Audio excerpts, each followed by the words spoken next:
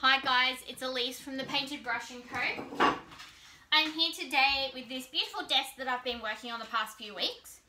And I have decided to add some stripes to it to give it a little bit of a classy French provincial look.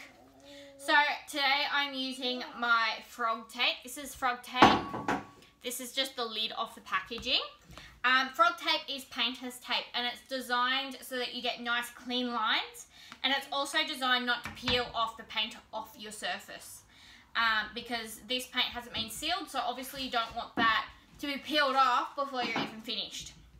So uh, very very easy process. You can add stripes to just about anything.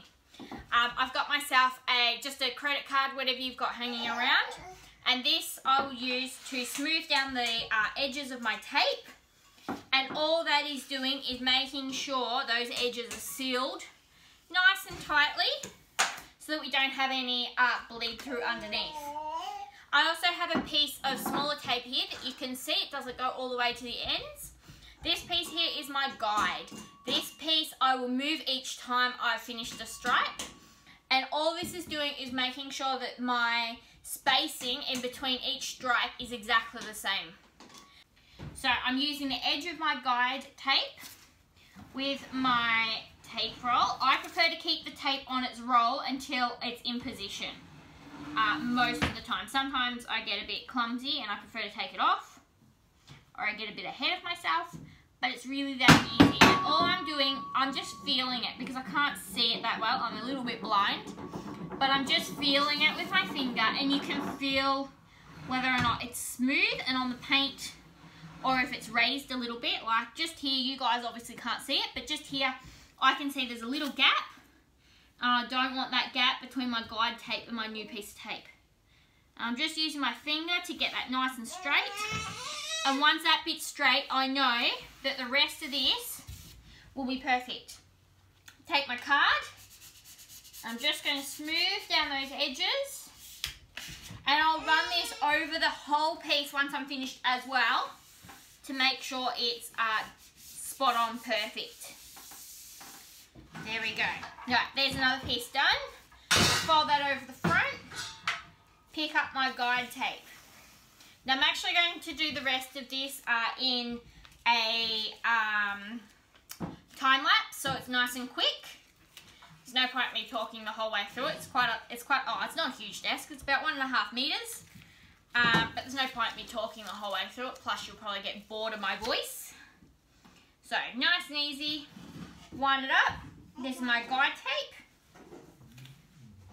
If you find your piece is quite large and your guide tape is losing some of its some of its sticky and it's just not really going into position that well or you damage the edge or something of it or it rips, just rip yourself off another piece. I like to do it so it's covering about half the desk space. Um, that way I know uh, it is, it's covering it properly. Piece and pop it down, going nice and slow. I keep it on the roll. That just makes it a little bit easier. Um, it, it also just sort of holds the end of it in place too. Oops, that piece isn't very even. Alright, so we're all taped up. I have lovely Oliver here helping today. That's whose little fingers are touching things. Um, so, last but not least, I want to take this front piece because I don't want paint spilling over the front. So, same process as what I did on the top, except it's not a flat surface. But quite a bit of detailing in it, and I just want to run it even with the top.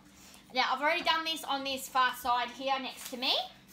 So what I'm going to do is I'm just going to do a small portion at, at a time just because it makes it a little bit easier to control because the whole width of the desk is a little bit too uh, wide.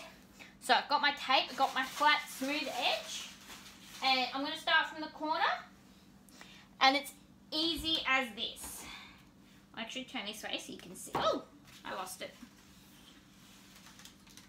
Starting from the corner and I'm just, oops, same process as what I did lining it up with the um, with the guiding tape, except this time I'm using the edge of the desk as the guide. All the way along. And smaller pieces of tape are much easier to do this. If you need to, rip them down into tiny bits. This is probably 40, maybe 50 centimetres long. If you need to though, if it's too long, if you're having trouble, pull it down into a smaller piece.